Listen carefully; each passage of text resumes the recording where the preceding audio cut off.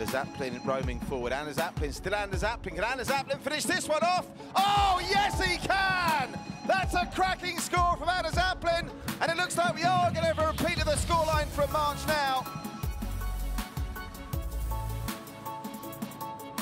It will be Doi who has a strike at goal and gives Albirex Niigata the lead with a sumptuous free kick past Jairo Sherhan. What a start! And what a free kick, goal number six for the season for Tomoyuki Doi. He is our man to watch, and that's the reason why.